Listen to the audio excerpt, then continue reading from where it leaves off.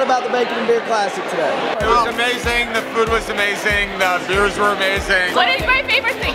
Beer. Second favorite, bacon. We got beer, we got cider, and we're coming back every year.